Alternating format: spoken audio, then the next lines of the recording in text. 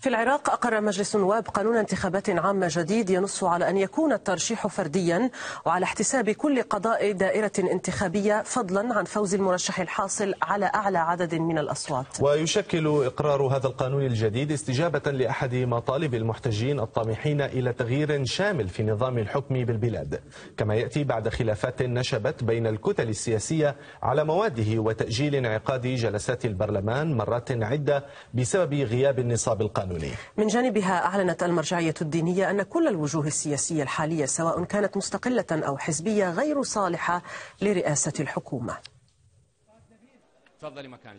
لاعتماد الدوائر الانتخابية المتعددة وبترشيح فردي رفع النواب أيديهم بالأغلبية للتصويت على قانون الانتخابات النيابية الجديد. وباسم الشعب العراقي وب...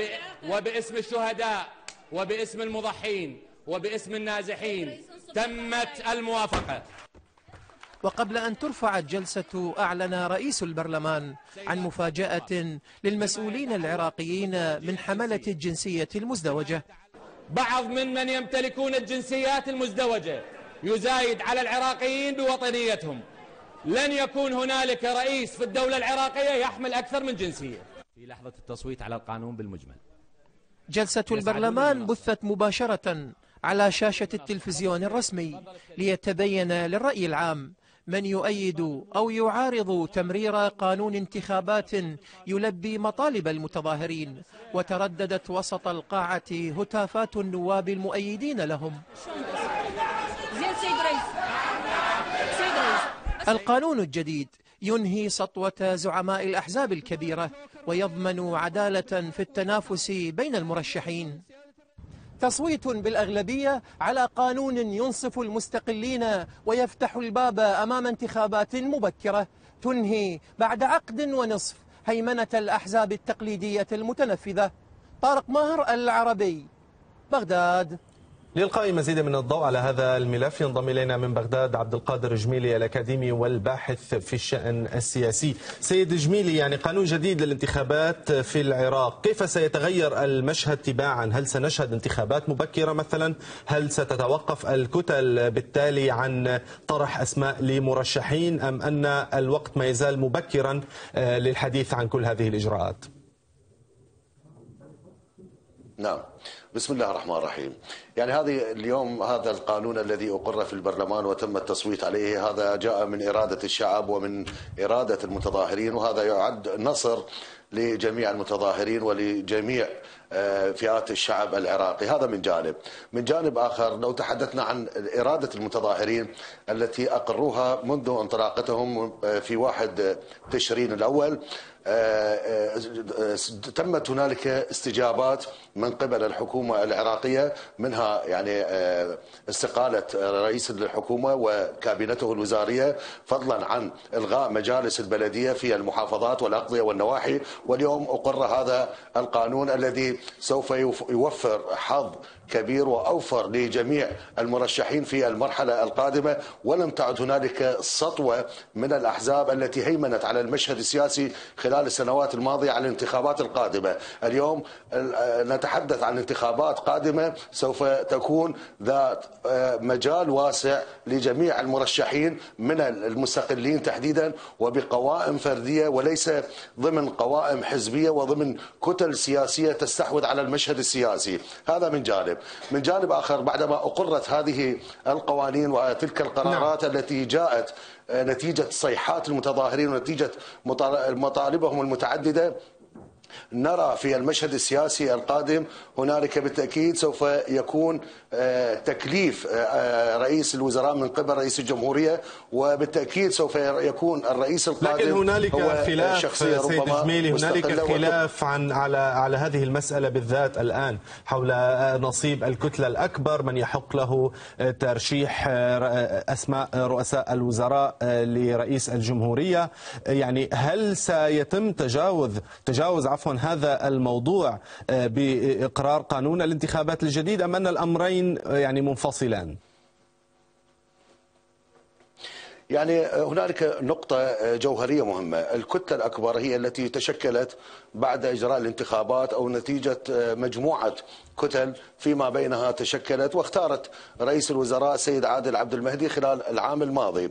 الآن لم يعد هنالك كتلة أكبر لتستحوذ على القرار السياسي وترشح من ترغب به. الشعب رافض للكتلة الأكبر ورافض لأي شخصية سياسية يتم الدفع بها من قبل البرلمان العراقي ومن قبل الكتل السياسية المتواجدة في البرلمان العراقي. اليوم الصورة أصبحت جلية وواضحة بأن مطالب الشعب وقوة إرادتهم هي أقوى من كل الأحزاب التي استحوذت على السلطة منذ 16 عام.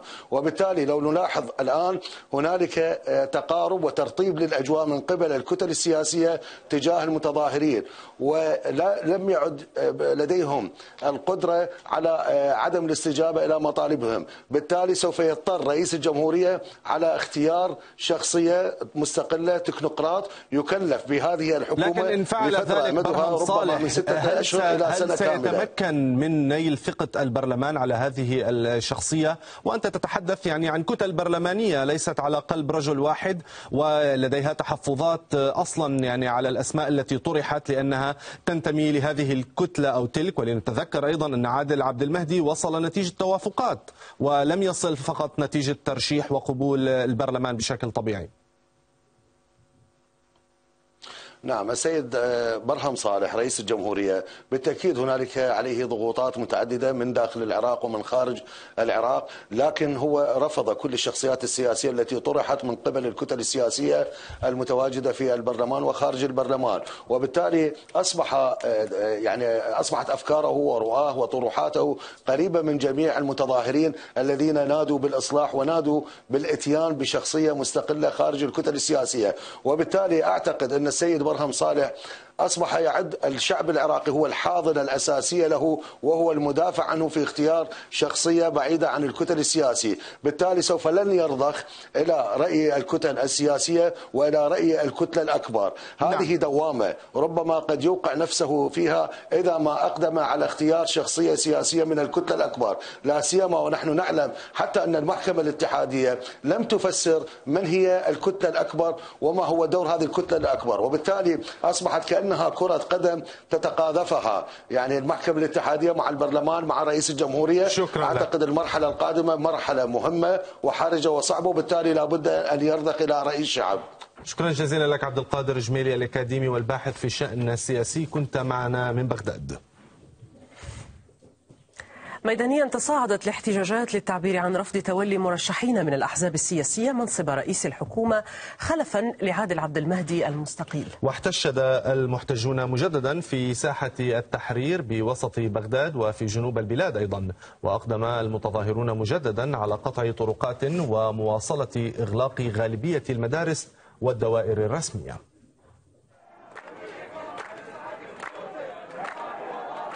حشود طلابية تجمعت في شارع دينار في منطقة الجبيلة من مختلف كليات جامعة البصرة والمعاهد والمدارس المنتشرة في المحافظة بعد توارد أنباء عن ترشيح أسعد العيداني محافظ المدينة لمنصب رئيس الوزراء.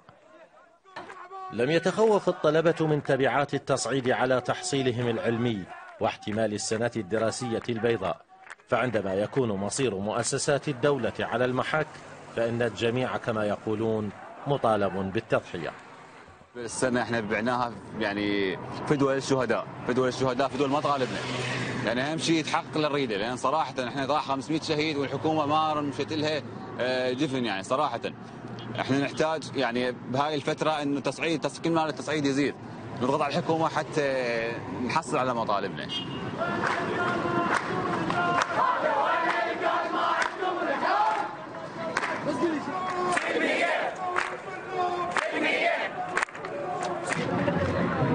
يؤكد الناشطون والمتظاهرون هنا رفضهم لترشيح أي شخص متحزب لتولي رئاسة الحكومة.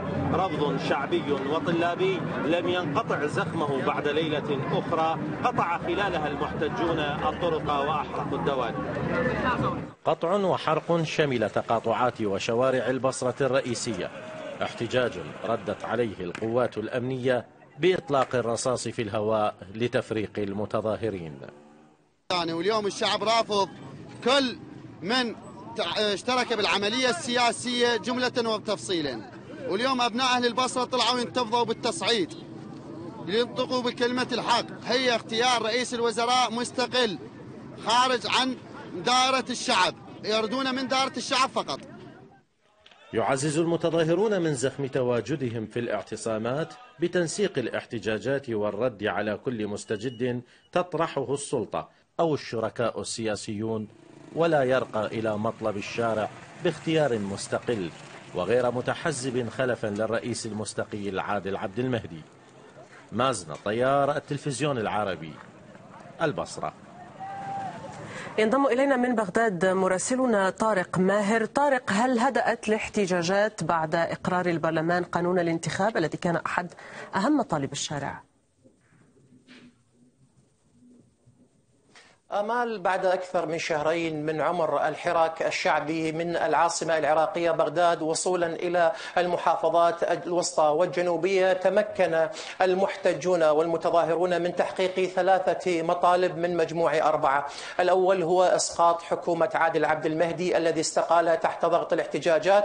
بعدها ضغط المتظاهرون على الطبقة السياسية برمتها وعلى البرلمان وتمكنوا من فرض إرادتهم بتشكيل مفوضية انتخابات انتخابات مستقلة ثم أعقبها التطور الأخير الذي أسفر عن تمرير البرلمان أو إقراره لقانون انتخابات ينصف المستقلين ولم يبقى إلا المطلب الرابع الذي يطالب به المتظاهرون وهو تكليف مرشح مستقل من خارج بوابات الأحزاب السياسية لمنصب رئاسة الحكومة الانتقالية. بالتالي المتظاهرون يؤكدون بأنهم سيواصلون تواجدهم في ساحات الاحتجاج هنا في بغداد ومرورا بالمحافظات الوسطى وصولا إلى الجنوبية لإكمال تلبية مطالبهم. طبعا هم يؤكدون بأن القطيعة هي ما يمكن أن توصف العلاقة مع الطبقة السياسية برمتها وهم يسعون لتمرير أو تكليف رئيس وزراء مستقل